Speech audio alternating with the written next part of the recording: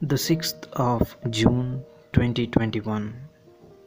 The first reading from Exodus chapter 24, verses 3 to 8. The second reading from Hebrews chapter 9, verses 11 to 15. The Gospel of Mark chapter 14, verses 12 to 16 and 22 to 26.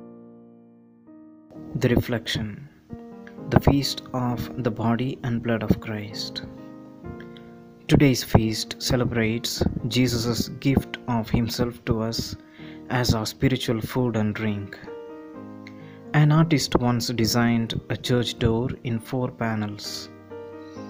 In the first panel, he portrayed six water jars referring to the miracle at Cana, where Jesus changed water into wine.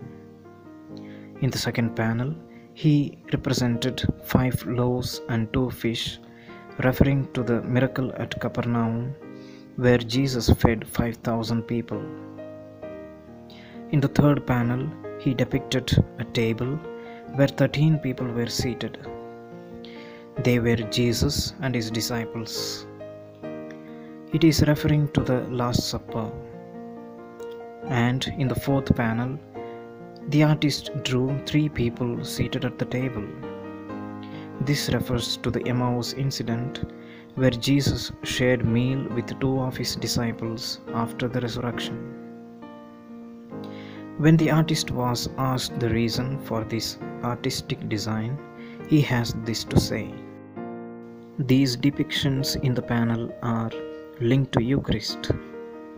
The Eucharist was prefigured at Cana it was promised at Capernaum, instituted in Jerusalem, and celebrated at Emmaus. At the Eucharist, Jesus does not change water into wine, but he changes the wine into his own blood and the bread into his own body. In normal life, what we eat becomes part of us. When we eat this food, we become part of the food we become the Eucharist. Every time we receive the Eucharist, we are received into it and we become part of Jesus.